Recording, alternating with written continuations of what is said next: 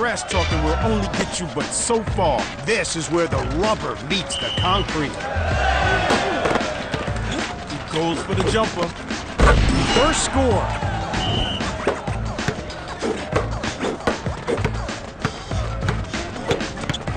Here he goes with another jumper.